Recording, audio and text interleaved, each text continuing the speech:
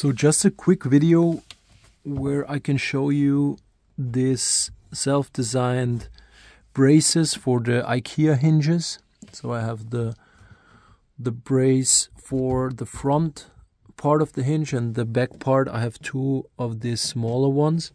but because I do not have any space here I just screwed one screw in there because I couldn't mount the second part of it but in the end I built myself my own version for my camper van of this IKEA shelf. And because of not the best tolerances here I had the problem that this hinge cracked out and I designed a few versions of this brace and now it works very well. So if you have an IKEA brace which cracked out I will upload the 3D data on Maker World so you can download it